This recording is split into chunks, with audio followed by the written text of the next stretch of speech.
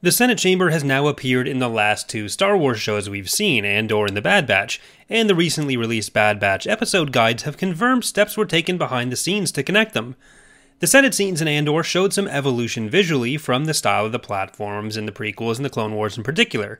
The Bad Batch, rather than just sticking with the Clone Wars or prequel designs, actually made some modifications to their models based on the setup we see in Andor. It's not a full conversion to what we see in Andor, instead, it's a step along the way towards it. Obviously, the Bad Batch was in production long before Andor released, so this definitely took some coordination on the back end. And I always love seeing those kinds of little details connect, the smaller background world building ones that are easier to miss, but make everything feel more cohesive when you do notice them.